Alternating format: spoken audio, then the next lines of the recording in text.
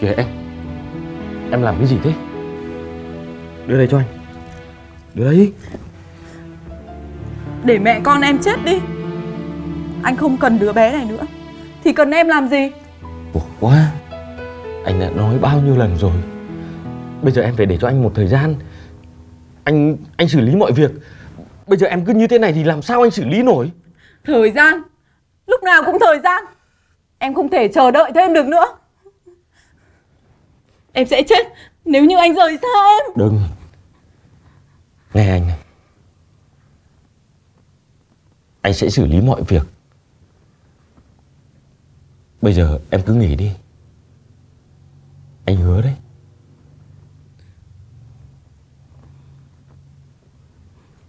Em sợ mất anh lắm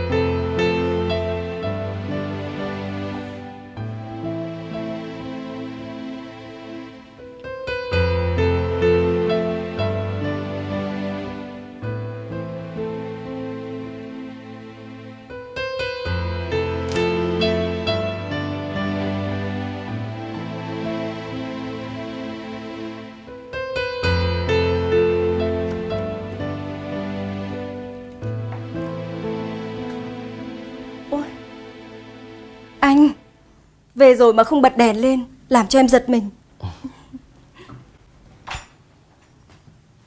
Làm gì mà nhìn anh ghê thế? Xem chồng của em nào.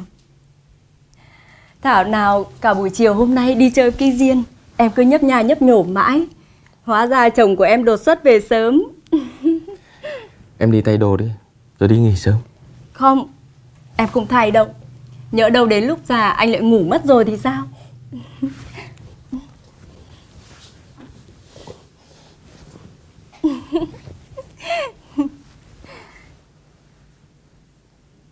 Anh. Chúng mình có con nhá. Em thích anh về sớm như thế này. Em thích anh dành thời gian cho em và con. Thì anh vẫn về sớm đấy thôi. Nhưng mà kiểu gì năm nay chúng mình cũng phải có con. Em muốn như thế. Bởi vì mình đâu có còn trẻ nữa. Anh ừ. Không nghe em nói à? Ừ, Anh vẫn đang nghe đấy mà. Em thích mình sẽ đẻ ba đứa con Hai đứa con gái và một đứa con trai. Nếu là con gái Em sẽ đặt tên là Nguyệt Thu Nguyệt Minh Nguyệt. À không Hà Nguyệt Tên Hà Nguyệt cũng dễ thương lắm, đúng không anh? Còn nếu là con trai, Thì em sẽ để cho anh đặt tên đấy. Anh thích tên gì? Chí Kiên, Chí Vinh, Chí gì nữa? Anh.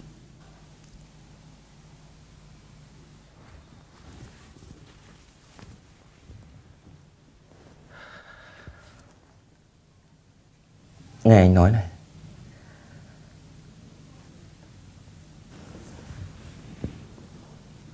không xứng đáng với em. Thả lỗi cho anh. Vì anh đã có người khác rồi. Chúng ta không thể sống với nhau được nữa. Anh nói gì? Anh đang đùa em à?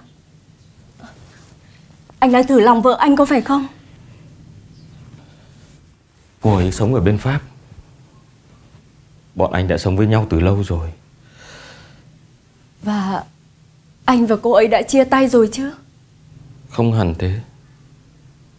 Cô ấy đã tìm về đây. Cô ấy đã có con với anh.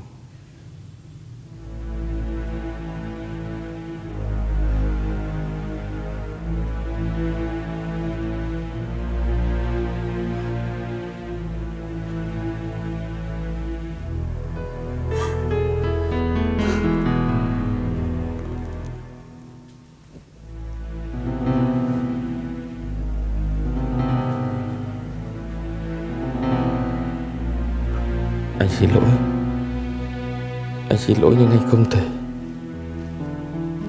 Em đã làm gì nên tội? Em đã làm gì để anh lừa dối em như thế?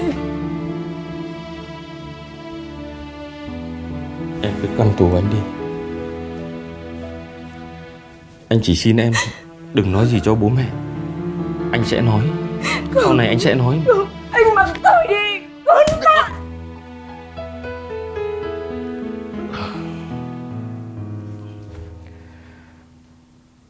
Em cứ đánh anh, Cứ chửi anh. Anh xin lỗi em.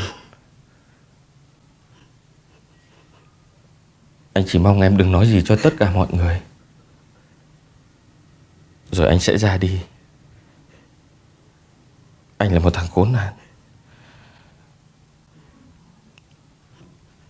Em sẽ ở lại đây với bố mẹ. Anh sẽ đi để cho mọi người dễ sống.